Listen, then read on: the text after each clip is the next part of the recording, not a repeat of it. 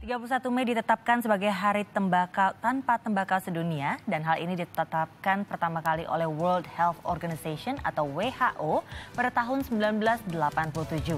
Peringatan ini bertujuan untuk membangun kesadaran global akan bahaya penggunaan tembakau dan akibat negatifnya bagi kesehatan. Peristiwa ini diperingati dengan tema yang berbeda-beda setiap tahunnya.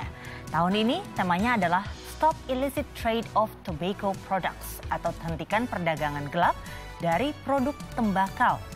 Sejak tahun 1988, WHO memberikan penghargaan World No Tobacco Day atau WNTD kepada organisasi atau individu yang berkontribusi dalam mengurangi konsumsi tembakau.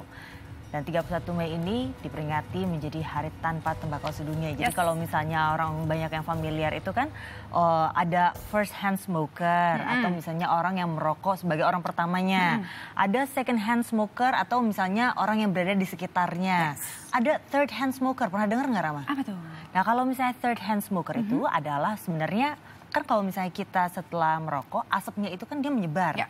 Nah menyebar itu dia bisa tersimpan dalam misalnya uh, kain sofa, okay. dalam dinding, dalam apa Oh dia itu. stay di situ. Dia stay Benar. di situ okay. dan ternyata kalau misalnya uh, dia terkontaminasi, bukan terkontaminasi apa ya, tercampur mm -hmm. dengan udara yang ada di sekitar kita, mm -hmm. itu bisa menjadi toksin dan mm -hmm. bisa bersifat aktif seperti karsinogen. No. Iya, tanpa jadi kita sadari ya. Tanpa kita sadari. Okay. Jadi ini bisa mengaktifkan zat-zat uh, yang bisa apa ya menimbulkan kanker Benar. gitu kan. Benar. Eh, karena kan memang nikotinnya itu yang berbahaya dan bikin Benar. addicted kan, adiksi di situ. Tapi ada cara juga yang sangat unik sekali uh, seperti pemerintahan di uh, India mm -mm. itu mencoba supaya warganya yang suka sekali dengan namanya merokok itu yeah. supaya agak menjauhi rokok dengan cara unik Gimana? banget. Jadi mereka tuh menyediakan um, lighter, ya. uh, apa alat pemantik, alat pemantik itu, api, ya. Secara gratis ditaruh uh. di sudut-sudut ruangan dan segala macam di jalan no. dan dan sebagainya secara gratis.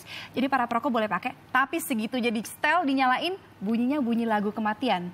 Oh, nah, oh, itu kayaknya no. bagus banget. Jadi yang mau merokok, bisa merokok nih ya, dia merokok terus sampai dinyalain gitu, tiba-tiba bunyi lagu kematian, eh dia langsung berhenti. Oh, Tapi bagus juga kan?